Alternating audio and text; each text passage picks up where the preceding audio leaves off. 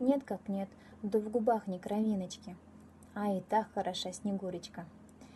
Вот пришла весна ясна, понабухли почки, полетели пчелы в поле, запел жаворонок.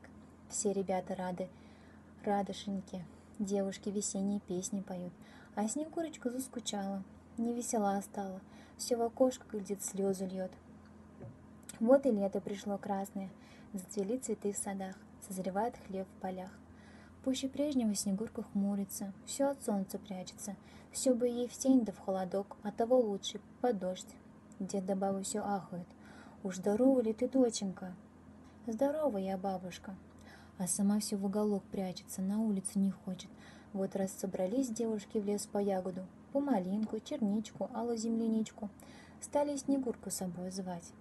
Пойдем да пойдем, Снегурочка, пойдем да пойдем, подруженька. А неохота Снегурочке в лес идти, неохота Снегурочке под солнышко. А тут дед и баба велят. Иди, иди, Снегурочка, иди, иди, деточка, повеселись с подружками. Взяла Снегурочка кузовок, пошла в лес с подружками. Подружка по лесу ходит, венки плетут, хороводы водят, песни поют.